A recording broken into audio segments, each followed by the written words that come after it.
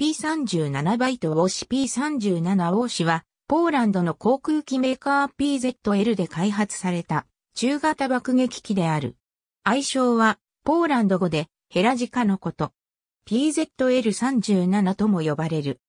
PZL では P23 から七条攻撃機、偵察機を開発した後、1934年から新たな爆撃機製作に着手した。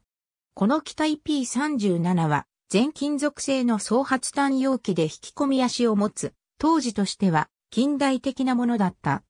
機体は他の同様の機種よりもコンパクトにまとまっていたが、高速であり、操縦性が良く爆弾搭載量も多かった。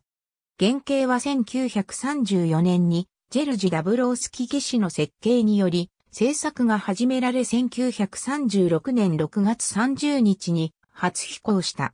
テスト飛行の結果ポーランド政府ではこの機体の量産を決定し、1938年から部隊への納入が開始された。最初の量産型は、エンジンはブリストルペガサスバイブ 873HP を搭載しており、単一の垂直尾翼を有していたが、後に装備翼形式に改修されている。1938年末には、さらに強力なエンジン、ブリストルペガサス XX925HP を搭載した型も生産された。ドイツ軍のポーランド侵攻直前、ポーランド空軍は装備機の近代化、刷新計画を進めているところだった。多くの機種では、この代替は間に合わず、1939年の開戦時、新型機はようやく試作機が完成するか、テスト中という段階だった。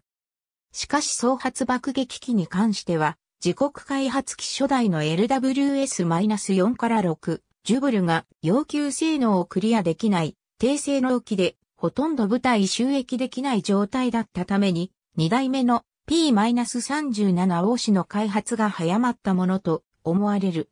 結果的にオーシは1939年当時、ポーランド空軍の主力機中、最も近代的な機体となった。しかし、ポーランド陥落までに完成した機体は合計で約100機程度で、ドイツ軍がポーランドに侵攻してきた時に、第一戦には4つの爆撃中隊に36機が配備されているに過ぎなかった。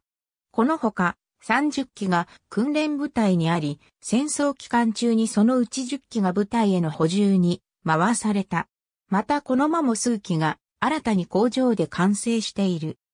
実戦では、もともと中高度からの拠点爆撃を意図して作られた防弾装甲のほとんどない機体を進撃してくるドイツ地上部隊を阻止するために低高度での地上攻撃任務に振り当てざるを得ず、このためドイツ軍の対空砲火によって大きな損害を出した。帽子を含めて、ポーランド空軍機は当初は果敢な抵抗を示したものの作戦飛行における損害に加えて、出撃するための基地もドイツ地上軍の急進撃にあって行動が阻まれた。ソ連の侵攻も始まり、開戦から約半月後の9月17日、ポーランド空軍はついに組織的抵抗を諦め、司令部により同盟国ルーマニアへの転進命令が下された。ウォシモ27機がルーマニアに逃れ、これらはルーマニア空軍に接収され、二つの爆撃中隊に配備されて、大祖戦に投入された。